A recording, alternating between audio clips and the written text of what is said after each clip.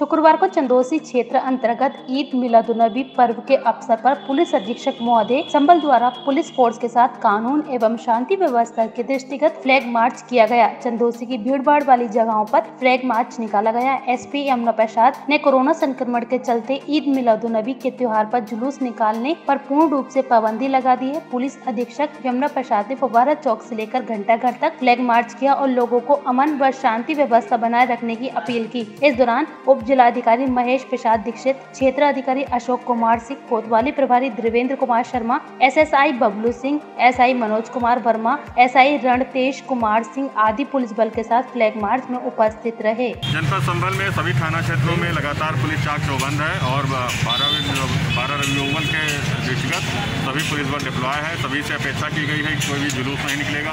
Covid nineteen guideline के अनुसार ही सभी लोग अपना त्यौहार आयोजित करेंगे और सभी ने आश्वस्त किया है कि वो अपने घरों में ही मिलाद करेंगे और घरों में ही पूजा पाठ करेंगे। सार्वजनिक स्तर पर कोई धार्मिक आयोजन नहीं किया जाएगा। इसी को इंश्योर कराने के लिए हमारा पुलिस बल चाक प्रबंध है। उसी संदर्भ में सभी लोग फ्लैग मार्च कर रहे हैं, क्षेत्र में विज़िट कर रहे हैं और सभी थाना क्षेत्रों में पुलिस बल लगाया गया है।